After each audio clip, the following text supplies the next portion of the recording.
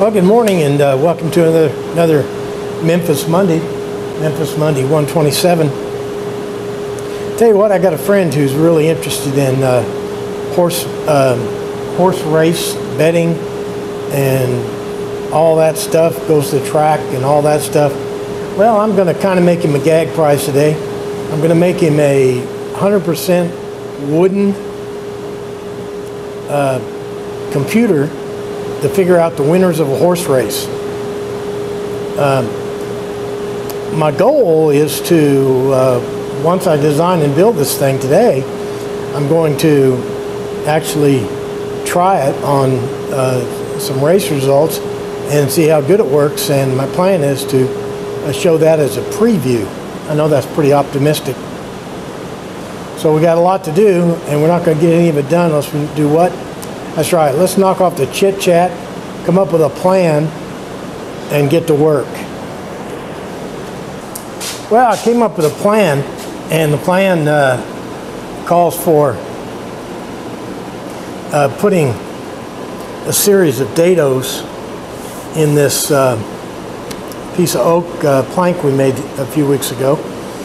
And once I get that done, then I'll show you what uh, I came up with on this computer.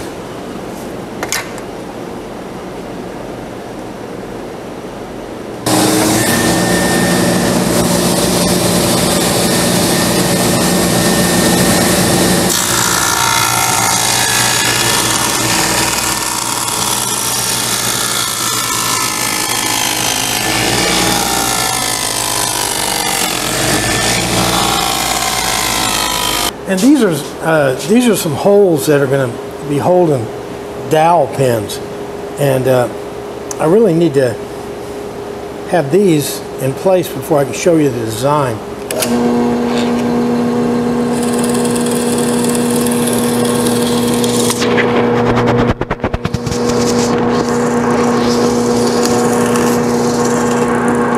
Okay, here's the concept. I don't know if this will make sense to you if you had, you didn't see uh, yesterday's video, but I got these little uh, dados cut in uh, to the base here, and that receives these little scales. This is the software for the uh, for the computer, and these these scales they can be anything you want. You can have them logarithmic, you can have them progressive, you can have them big, you can have them small. Uh, put any numbers you want on them, um, and plus you can you can evaluate any criteria that you want: the horse's speed, uh, the um, the odds, uh, the class rating, uh, whatever uh, you know, whatever category you want, and how it works me, uh, I'll, I'll show you here. So I made up this notional scale here, and here's our horse. You put the scale right even with the horse there, and then let's say this this scale here is for the uh, horse's power rating.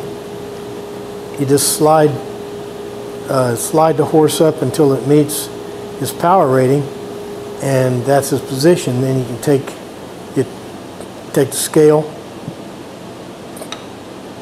and you move on to the next horse and evaluate the next horse. Okay, uh, let us uh, let's do some finish work on this thing and uh, do some assembly.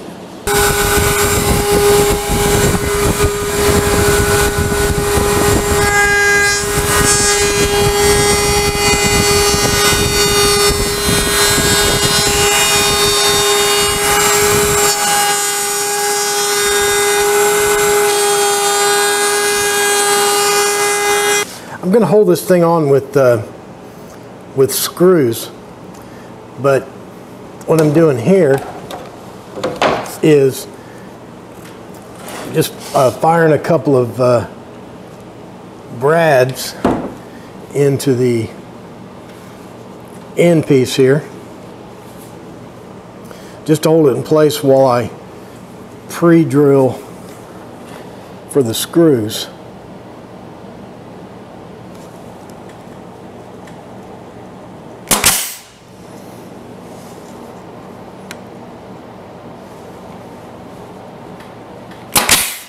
I'm going to be uh, attaching these end, end boards with uh, screws and I wanted to show you the difference uh, in screws.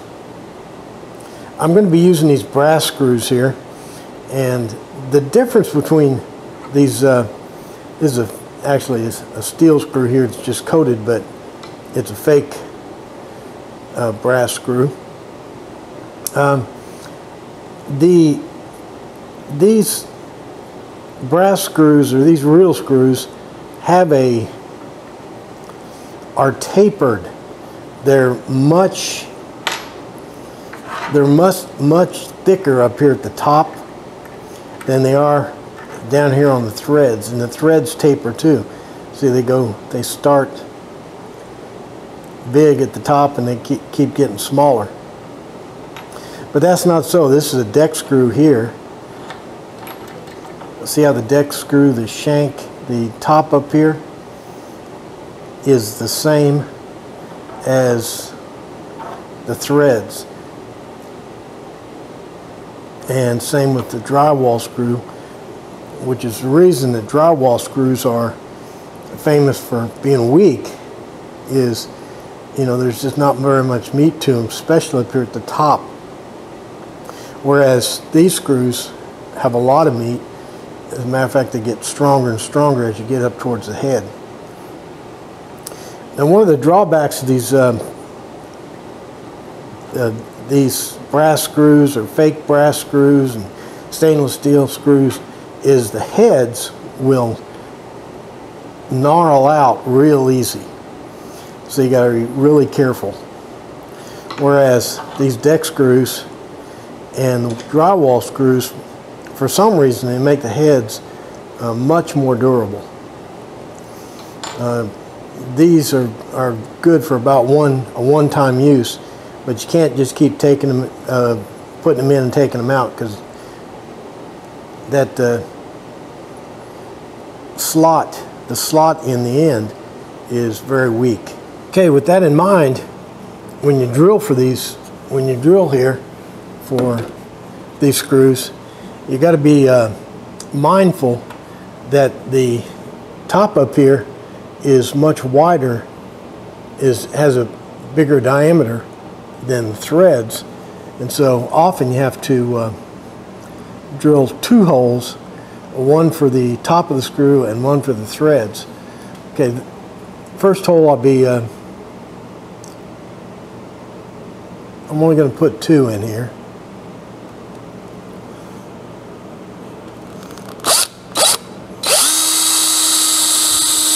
Now I've, I've got the countersink in there.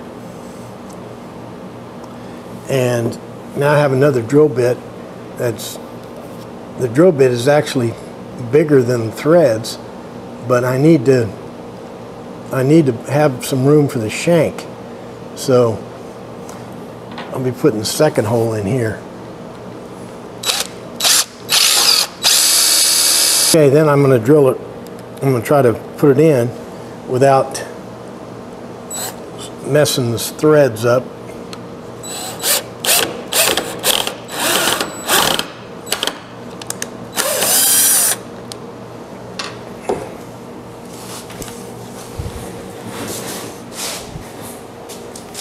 Okay, I'm gonna have to get a bigger drill. Okay, what's happening is I'm, I'm drilling this I'm drilling this thing in, but when it gets down to the end down there, it won't it won't fit in that uh, smaller hole. So I'm going to use this bigger drill bit. See if it'll work. Okay, these uh, dowels, you know, I don't know how they make these. I think they run through a die. Um, but they're not always perfectly sized and they're not always perfectly round. Uh, this one, for example, well, none of them actually fit real well in these holes, which are exactly half an inch. I even wallowed them out a little bit. So to fix that, This is what's called a tenon, a tenon cutter. I use it in chair making. Uh, you just slide that thing on there. And that and that buffs it up, uh, sizes it, and puts it in round. So now it will fit in there perfectly. I want it tight, but I, I don't want to have to pound it in there either. So let's check this one.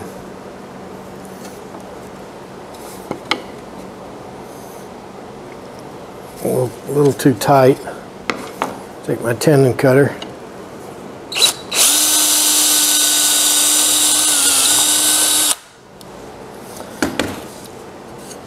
And uh, you can also use this uh, tool here for uh, to cut um, plugs.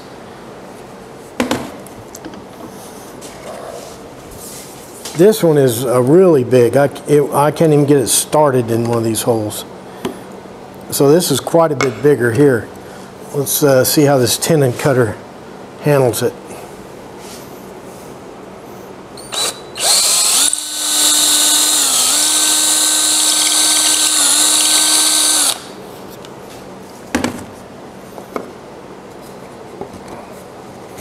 Perfect. Now th I'll thread our little uh, race horses on here. The uh,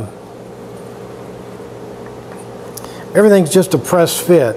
I'm not using any glue.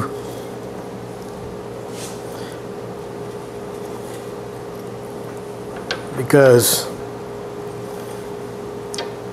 there's just a possibility that uh,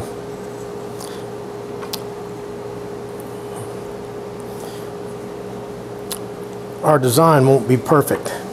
Well, there she is. I didn't put any finishing on it yet because I'm going to test it. Um, and my plan is to, uh, I'm going to test it right after we finish this video. And then I'm going to publish uh, I'm going to publish that uh, test, an explanation of how it works and all that stuff, more detailed, um, as a preview uh, to this uh, to this uh, Memphis Monday uh, 127. There it is, the uh, horse racing Ouija. It is it's a 100% wooden computer used to uh, select the winners of uh, racehorse uh, race horse racing. Uh, you probably noticed I spelled Ouija, W-E-G-I. Uh, if you Google that, you'll. Uh, that's not how you spell it. You spell it O-U-I-J-A and pronounce it Ouija. Uh, but anyway, uh, I'm going to put a link in. I'm going to put a link link in the description to yesterday's video, and I'm going to get into the details of how you program this thing and how you pick winners to, to race horses, uh, to races. And if you're seeing this video now, it means that it must have worked, uh, at least to some degree, uh, or I wouldn't have mentioned it. So anyway, like and favorite and uh, all the stuff you do on the internet. Uh, this is pretty, uh, pretty uh, silly project, but you know, you know, if you're doing this for recreation, you know, you got to have some fun, huh? Okay, so like and favorite and Facebook and tweet and all the stuff you do on the internet. But most, most important, make sure you're back here next week for another horse racing Ouija kind of event. No, actually, we're going to be building something good. So get excited and see you next week. Thanks for playing along.